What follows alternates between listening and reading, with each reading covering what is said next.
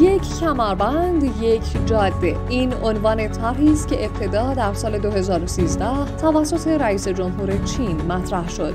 طرحی با برآورد هزینه بیش از 1300 میلیارد دلار که 138 کشور و 29 سازمان بین المللی را درگیر کرده. این طرح در پهنه آسیا کلید خورده است. منطقه‌ای که با تحولات جدیدی روبروست و بازیگران مختلف این پهنه جغرافیایی طرحهایی را در راستای تامین اهداف خود و نیز منافع جمعی در مناطق مختلف آن ارائه می‌دهند یک کمربند یک جاده یا جاده ابریشم جدید به طور ساده دو بال دارد. اول کمربند آن است که از کمربند اقتصادی جاده ابریشم گرفته شده و شامل شبکه‌ای طراحی شده از جاده های فراسرزمینی و خطوط راه آهن، لوله های نفت و گاز و دیگر پروژه های زیرساختی است که از مرکز چین شروع و سراسر آسیای میانه را طی می کند و سرانجام به مناطق دوردستی چون مسکو، روتردام و ونیز می رسد.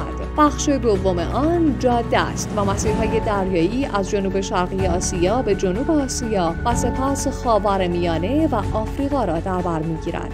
تامین انتقال انرژی، کالا و نزدیک کردن نقاط مختلف کره زمین به کشور چین از اهداف این طرح است. اما این طرح مخالفینی هم دارد و مهمترین دغدغه آنها وامهای محرمانه و بدون انتشار جزئیات چین به کشورهای در حال توسعه و عواقب ناتوانی در باز پرداخت آن است که از آن تحت عنوان تله وام نام می‌برند. به طور مثال وام 361 میلیون دلاری چین به سریلانکا بود و از آنجا که سریلانکا نتوانست آن را سر موعد باز پرداخت کند یک بندر سریلانکا به مدت 99 سال در اجاره چین رفت نگرانی که البته چین در برهه همهگیری کرونا در سال 2020 که برخی اجرای پروژه ها و بازپرداخت وام ها به تعویق افتاده بود نشان داد که این نگرانی بیشتر ساختگی و در راستای پروژه چین حراسی است. در این بین ایران هم نقش کلیدی در اجرای این پروژه دارد. زیرا در دوره مدرن روابط ایران و چین تحت تاثیر چند عامل کلیدی از جمله تحریم های شدید آمریکا علیه ایران و تلاش واشنگتن برای